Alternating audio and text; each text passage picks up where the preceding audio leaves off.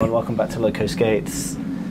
Some people in the comments previously said that uh, the audio was a bit funny because um, they could hear loads of stuff in the background, but we are a functioning shop and we don't stop functioning when we film a video. So the phones ring in, there's people collecting parcels, there's all sorts of stuff happening when we're here. But today there happens to be an actual hurricane happening outside the door, outside the window. Um, what is it? Storm Elaine, Storm Eugene, I Don't know what it's called. Storm something. What's the storm called, Gas? Begins with an E. Has it got a name? yeah, yeah. These days they all have names. I, Yeah, I didn't know. I haven't heard the name of this one yet. It look it looks like nuance or something like that, but with an E.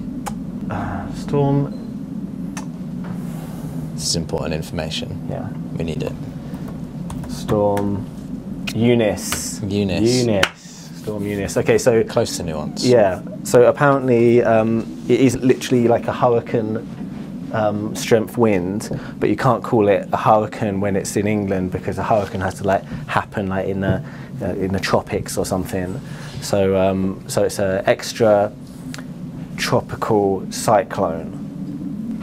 So just to warn you guys that that's the noise you're hearing, and if the roof comes off and we all get sucked out screaming mid-video, then uh, call the authorities, send help. um, so the best, what what are the best flat frames for aggressive, Gaston? Well, everyone's different, so everyone's gonna have their own opinion on it. But my opinion would be the Kaltik flat V2 frame because it just works the best for for me for not sticking up on grinds. Well, you're wrong. mate. I'm wrong. yeah. You can't have your own opinion. I can't have my That's own. not correct. Yeah.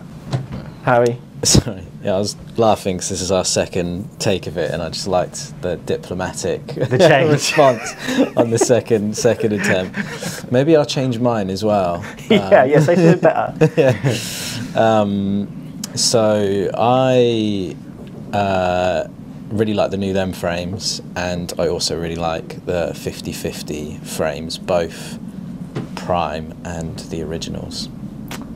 Cool. Yeah, and you tried the. So we filmed this flat video. We went and skated in the skate park and tested out all these frames. And how we also tested out anti-rocker frames. So that's the next video. Um, so here's what I did. I went and tested uh, the best eight flat frames, or in my opinion, the best eight flat frames on the market right now. And um, I'll show you which ones they are. We tested the Wish medium frame. We tested the Kizer Fluid 5 frame, Symmetrics by Adapt, the Kaltik V2 frame, Gaston's favourite, the uh, Ground Control Featherlite 4 frame, uh, Kizer, this is what I was skating before, the Kizer Element 2, and the Slimline, Kizer Slimline frame, and also um, yeah, the Sola High-Low Atkinson frame. We did, a, we did this testing where we tested for speed, uh, speed rolling around on each frame, tested for the Royale position, I think that's an important thing, is Royale position, and tested for top sides because you know the frame wall, the fatness of the frame wall is going to affect how much topside space you've got and the position of your topside. Um, yeah, and also this like bit at the bottom of the frame here, like the shape of that could affect your topside as well because if it's beveled, then it might be easier. And then we tested for wheel bite, so front side Royale and backside Royale on a square uh, ledge. So uh, it was the we were going to film one of those videos where we kind of went out and went, "Hi, we're at the skate park," like what me and Harry did before for a couple of things, and um, yeah, uh, it was a bit boring the footage. So we had those tests. So the ones which you just said, H block, top sole, and I can't remember what the other one was. But so we had that on each and all of the frames. So we were just filming three or four tricks, going and changing a load of frames in a skate park, and then going filming three or four tricks Yeah, again. So exactly. it was. Uh, yeah, It was monotonous in the Re- end. and it, and uh, apparently that monotony has uh, spilled over into the the footage. Yeah, so so we, so instead of doing that, we're going to do it just like we just I think we'll just try and talk about it. I know it was me that We'll that spare the viewers the monotony. Yeah, Yeah. but it was me that tested the frames, but I, but Matt, um, Gaston and Harry are mic'd up in case they had some input. Um, because it'll probably be more interesting than me just stood in the skate park changing frames, doing a million top And soles. we've all probably used most of the frames there anyway, hey? Yeah, yeah, bar, exactly. bar a few I haven't, but Yeah. So starting out with the wish frame, um, first test was the speed test. Yeah, they felt fine. They got big wheels, and I skated 65 on the outside, 58 in the middle, which made them flat. It's a high-low system. They all ride flat, smaller wheels in the middle, bigger wheels on the outside. and is that the frame Is that 65? Is axle to axle length 269 or 257? This is the smaller one, 257. 257. Um, the one I'm holding is actually not a 65. Oh, I changed sorry. the wheels since I used Yeah, them. yeah, yeah. They come in two sizes, the wish frames, but ingeniously, they actually haven't changed the mould. So to save costs, it's always the same bit of plastic, but they've just drilled the holes closer together on the two end wheels on the smaller frame, and on the larger frame, it's like slightly further out. And I don't mind that whatsoever. It makes no difference to me. In fact, I actually think it's better because I like a longer frame for grinds because it holds you on the grind you're more balanced if you've got a longer frame. But then the wheelbase when you land on the floor because the bolts are just set in from the outside, you've got better turning. So best of both worlds for me. I thought that was a, I actually think that's a good feature. It's just so happened like kind of happy mistake. Um, yeah, so they were they were fine for speed, and then the royale position um, started off a bit like stood up, but I went and skated a curb and um, wore them in. And after wearing them in a few times on the curb, I- the royale felt really good on that. Yeah, way better. Let's talk now about royale position on skates, right? Because it's going to depend what skates you're using as to what um, what the best royale position is. So the, the best frame you can buy actually maybe isn't the Kaltik V2 or the 50-50 Prime. I think the best frame you can buy is the frame that matches your skate best. Hmm. And I don't mean colour. Whatever skate you've got, you're going to have. This is really obvious stuff, by the way, but I always forget about this. I end up putting frames on my skates and then not thinking about this kind of basic principle. But of course, like, depends how far out your royale groove is on your sole kit and how that matches the groove on your frame. I've got a little bit of a theory actually. I reckon, like, I reckon that distance there between frame and the outside of the groove should be about the same as the distance between there and the bottom of your groove. Like this and this should be equal. How about that for theory? Unproven. Sounds no like, so sounds not like peer some good maths, some good science, yeah. Yeah. Yeah, yeah. We'll, we'll wait for the uh, double-blind, peer-reviewed trials to come back on that one. But obviously, if you've got a wider sole kit, if it's wider out here, then it probably benefits you to have like a higher frame for your position. Um, if you have like a high frame and a thin sole kit, then you're going to be too like like oh, you can be too. You can have to bend your leg too far over.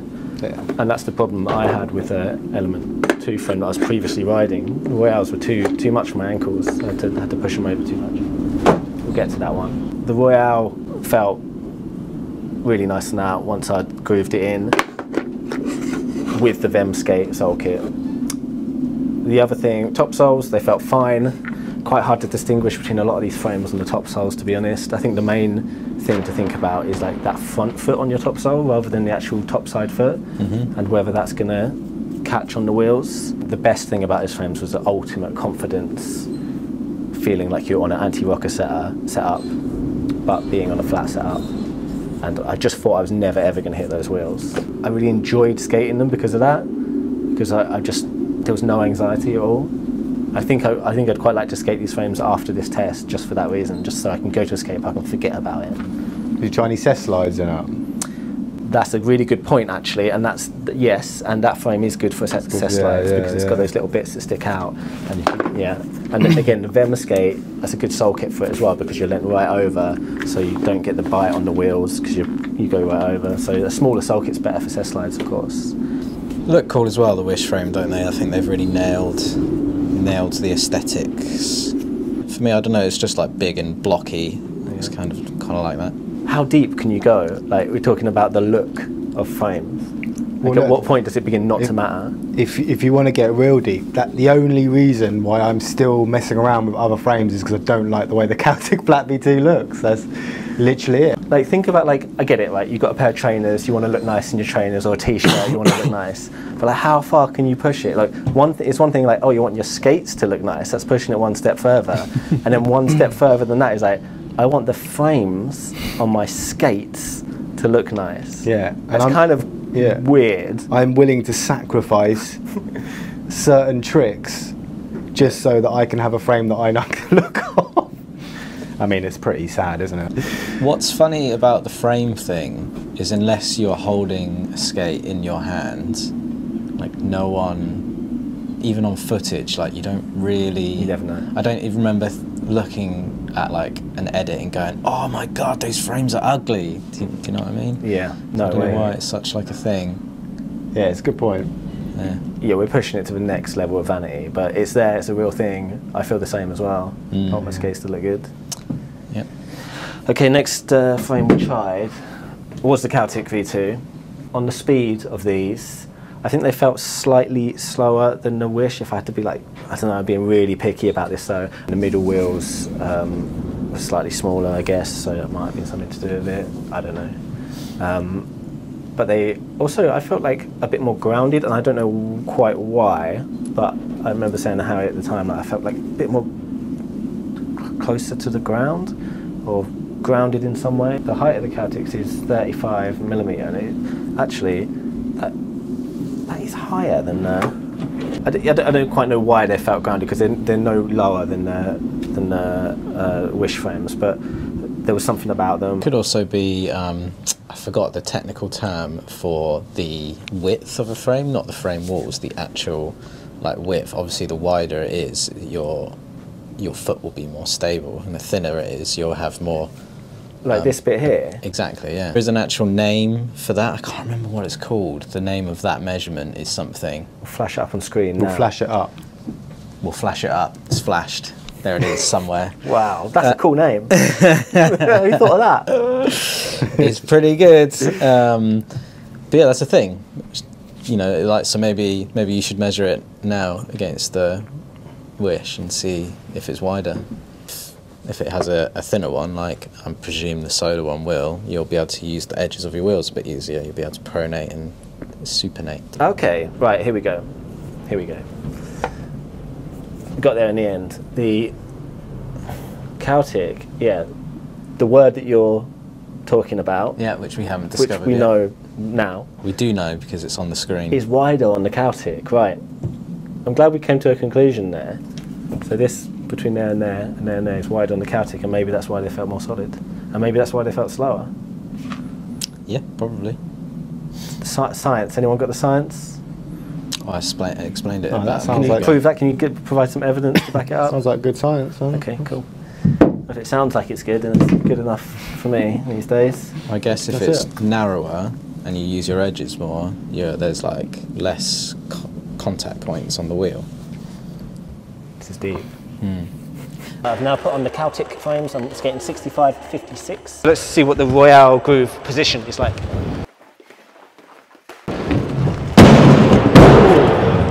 Yeah.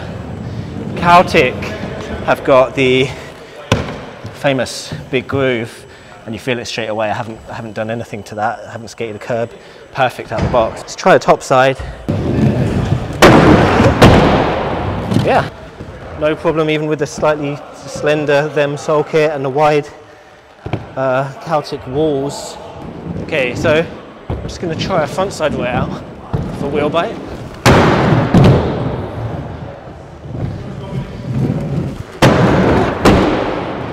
Yeah, uh, yeah, it'll take a little bit of getting used to, but certainly I can feel that the deep groove is um, a little bit of a hindrance on royales because especially on square and it's going to be because where it's perfect on round that deepness is putting me in a position that the square edge doesn't want me to be put in. So I don't think it's a wheel bite issue. It's just like a positioning issue on square. So I understand now why there's shallower grooves. Next frame tried. This is the Kizer Fluid 5 frame and for whatever reason again, I don't, don't have like the like the science to back this up, but it was well fast. it was really fast. That. They're really solid. It's really solid. The Kizer always use really, really dense plastic, much denser than the Kaltik frames. right. If you held them together with no wheels in the Kaltik one, you can just like that. You can squeeze the Kizer ones, you can't. Not you can't. They're really, really rigid frame walls. like this. Yeah. If it didn't have wheels in, you could squeeze it. Um, yeah. So that could be the reason why. And I was like straight away on those. I was like, whoa, they're really fast. Woo! Do you know they are absolutely rapid. Um, and this was one of the frames that I, I was less excited to try. Yeah, you were genuinely I was just like, su- really surprised about how they were. Yeah. And that's like a that's like a stock frame on loads of skates now. Yeah. But they're doing stuff, aren't they, Kizer? They like figure stuff out and make good stuff. So it's not a surprise that the frame is good at all. But also an absolute pain to put together. the Yeah, oh, worst. yes, the worst. the worst one to put together. And uh, but we figured that that might have been a good thing because it was so difficult to get the wheel in that that also meant that when the wheel was in, it held it so tight. It was, Yeah. it was it was really in there, and that might be part of the reason for the speed on it as well. I think it might be the most cost-effective frame as well. or- That as well. It's, the pretty best cheap. economy. Yeah, it's Yeah. pretty pretty cheap frame compared to some of them. Yeah. But um, what you haven't talked about is like the H block split, etc. Yeah, it was a good size, a good width. We put up the whips at the end of the video, and it's got these little wheel cup in. Um, and yeah, I didn't feel any any wheel bite on it. It felt good every time I tried something. And it's also probably a testament to the thickness. I think the thickness of the frame walls actually also helps with wheel bite as well, doesn't it? And that that's got the thickest wall at the bottom of the frame out of any of the frames we tried. I think. Um, top soles again, it was just like mm, yeah, I can do it, fine. Um, and Royale position, yeah, I really liked as well. Like straight away, um, almost straight away. I did I did a little groove on the curb on that one, but it felt great. Um, at the end, we'll go through all these frames and just say, oh, this one's best for this, this one's best for that, and here's my overall winner. I think I tried the Sola next. I was really interested to see the speed of the Sola versus the speed of the Kizer Fluid 5 frame because you'd expect the Sola frame to be faster because it was aluminium. Um, and when I did try it, I would say that I didn't feel much speed difference. So in comparison to the uh, the Fluid 5s, which I've just tried, they feel, I can definitely feel like the rigidity of the metal. There's, there's the responsiveness is definitely there. But no faster actually than the Fluid 5s, which is interesting. Interesting. Yeah, I thought I thought it was going to make a big big difference on speed. Um, ignore this H block. This is just a 3D printed one, but it's very similar to the one that comes with those Sola frames. And as you can see, I've really grooved that in. So, um, yeah, um, I did. This was already pre-grooved actually before the day, and uh, but with that groove, they felt amazing. In fact, I'd say they felt the best Royale position for this skate. And I skated them with 62s on the outside and 58s in the middle, high-low setup. The top soles were the best I felt. Yes, it did feel more forgiving on the top side for sure. I felt like I had a bit more space. I'm, I'm pretty sure that wasn't psychological, but I had a bit more space and it was more forgiving on the top side. Like it was, it was deeper in towards my foot, if that makes sense. Uh, yeah, felt nice and safe. And the other thing about the Sola frames is they're the lowest frames we did in the test as well. So for top sides, get best of both worlds. You get a thin wall for more sole space, and then a low frame as well. So you don't have to, you know, when you're putting it on a top side like this, obviously it sticks out less, and you don't have to like bend your foot over so much to get the top side. And I didn't feel any wheel bite on those either. I was scared of the wheel bite on those, but actually on this skate, because I guess that sole kit in the Royale is quite lent down. Um, I uh, didn't get any wheel bite and didn't get any wheel bite on the top sole. So I, I really liked the Sola frame. I was, I was really happy that I was able to skate it without any issues. I'd say the only thing about the Sola frame is like, it's a no-no on a cess slide for me. It's not happening. For some people who are better at skating, maybe, but no, I can't cess slide on that. Could you cess slide on that? Being better at skating than me? I bet Harry can do it. Yeah, I think I. Yeah, I think it was. Yeah, I did cess slides on them. Well, we'll see. Well, next time You'll have to prove it. How you say Okay, it. fine. I remembered the name of the the width measurement as well. It's called the deck. The deck. But people won't think that is a genuine memory because they probably think I googled it off camera. Did you Google it off camera? No, I didn't. I just remembered it. Next frame I tried was the Slimline. We'll cut to a footage of this with wheels in it. Um, Kizer Slimline 2 frame. 64 millimeter on the outside, 60 on the inside. Look at that groove. I I'm not holding out a lot of hope for that. That looks too deep, and I'm really scared about the wheel bite I'm going to get on the 60s in the middle. This was the one that was uh, like felt a lot different to all the other frames. Everything, everything else was like, oh, I can kind of tell a difference between them, and this one was just like blatant. Um, and it's because of this really big deep groove. And the groove's actually very thin as well. Like, look how thin they've made it in the middle. It dips down like this, so you've got a different kind of position. And um, I got a lot of wheel bite on these. That frame has been out for years, and they did the rockering. They were one of the first people One of, to, must do, one of the first to do it. to do like loads of options of rockering as well. Yeah, yeah. But I think you can tell it's been out for years because times have moved on, and I don't think they would make a groove that deep these Yeah, days. yeah, yeah, yeah. And I, I felt a lot of wheel bite on these. What was the first? What skates were USD releasing when that frame came out? What was They was they were on thrones, yeah. on phones? Yeah, Some of the later ones, yeah. with a 68. There was that one that had really big wheels, yeah. Mm. Yeah, it had like 68 or 72. Do you remember there was one with 80 millimeter? It was 80 on here, and it was cut into the. That's the one I it was mean, like the 80 grey, the grey millimetre- one. Yeah, yeah, yeah. I remember that one. Mm. Yeah, anti-rocket. Was it anti-rocker? was anti-rocker. 80? Yeah, yeah. It's amazing. The the groove. I remember trying that one, and the groove was just so wide that that your my my foot on the grind was just going to one side and just hitting one of the wheels. Either the either one of the two middle wheels. It was hit, sliding along and hitting exact- the wheel. Yeah, That's exactly what happened So, to me. yeah, yeah, yeah. And, and yeah, because I was I couldn't bone over loads um, because of the, the the deepness of the groove and the thinness of the frame, making you stand up more. Um, that also contributed to that wheel bite as well. So that was the one that was like really obvious. It wasn't it wasn't so great on the flat setup. I mean, the frame felt good on the roll, really good. Mm. And I wonder if I wonder if you could skate an anti setup. Well, I, I mean, I skated. I've skated that anti-rocker for a while, and I just tried it on, on a flat set when I had when I was skating them, and just went straight back to anti-rocker. But it's a really good anti-rocker frame, I think. Yeah, and then yeah, top soles again, because of the wheel bite on the front foot, they didn't feel great, and the rail position was was too stood up for me on those. So, um, but I kind of pass on those ones. But the, the if you want to buy Kizer, the fluid fives are great. Um, next frame tried.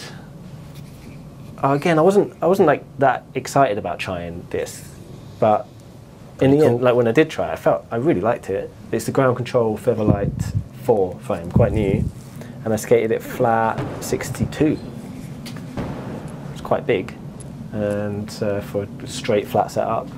The last frame I tried was the Sola frame, so it was the aluminium thin frame, and yeah, you, you can tell going back to the plastic, the solidity on them feels really nice, like the shock absorption. Oh, really nice, yeah. And that's a brand new groove as well. Yeah, it just locked straight in. It felt like a really good position.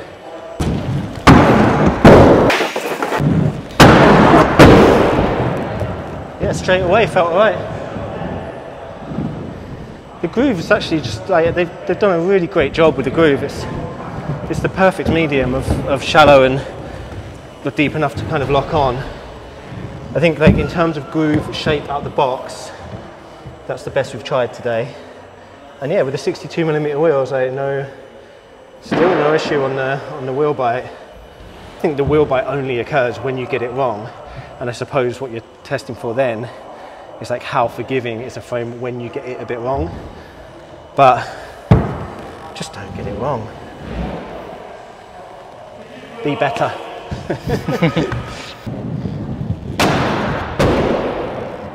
Top soles, I didn't get any wheel bite at all. Back rails, no wheel bite.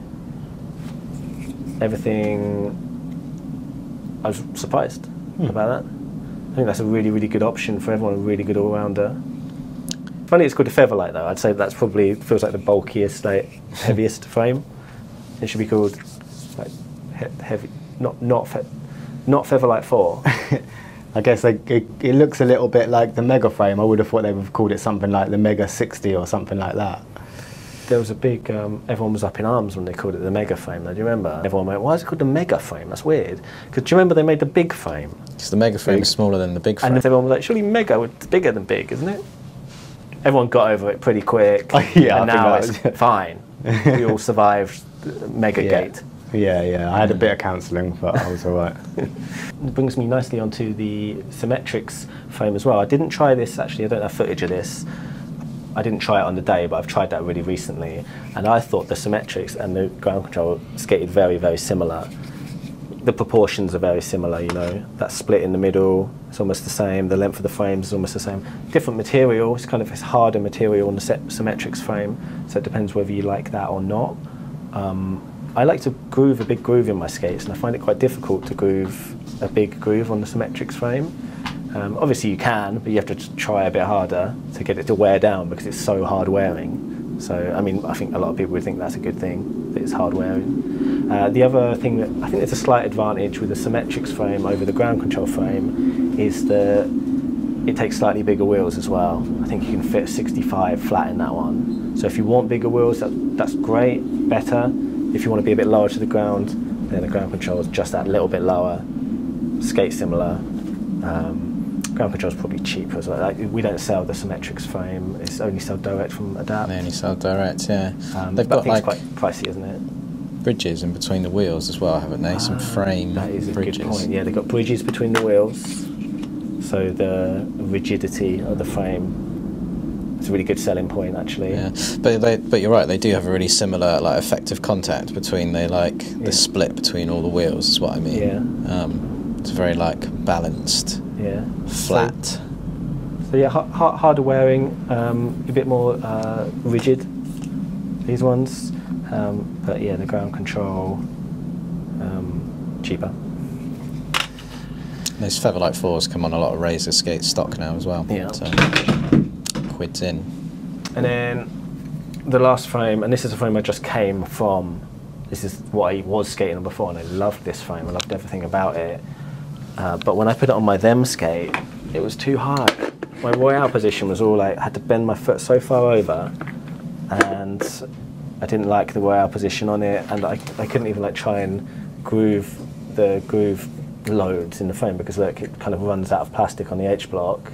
These H blocks will be out soon, by the way. They're, they're new plastic ones.